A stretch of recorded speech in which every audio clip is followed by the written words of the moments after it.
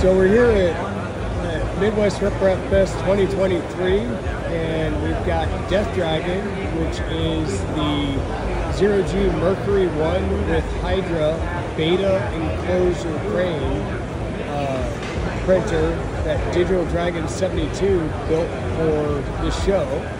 Uh, we were sitting here at the KB3D booth as they were one of the major sponsors of parts for this build in order to get it done in time. And it has been printing all show. Uh, we've got a, uh, an uh, Optimus Primal head. Uh, the first one that we did overnight on Friday night was given to a kid on Saturday. This one printed all day yesterday, and uh, it's been a, a well-received printer throughout the show.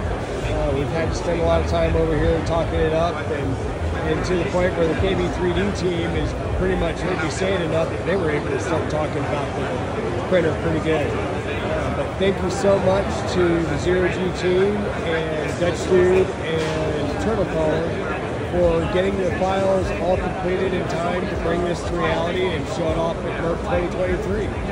Thanks everybody and have a great day.